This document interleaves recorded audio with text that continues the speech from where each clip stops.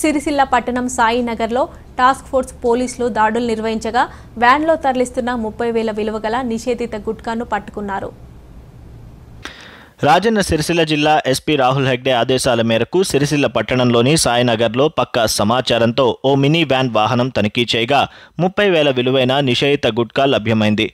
తగు చర్యల నిమిత్తం కామారెడ్డికి చెందిన పబ్బా సంజీవ్ను చింతకింది వినయ్ను మరియు ఓమిని వ్యాన్ను మరియు నిషేధిత గుట్కాను సిరిసిల్ల పట్టణ పోలీస్ స్టేషన్లో అప్పగించారు. ఈ దాడిలో టాస్క్ ఫోర్స్ సిబ్బంది పాల్గొన్నారు.